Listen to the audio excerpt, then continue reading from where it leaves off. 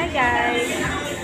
Dito pa ko ngayon. Kasama ko mga ko sa elementary at high school. Dito po sa Water World. Samahan niyo po kami guys.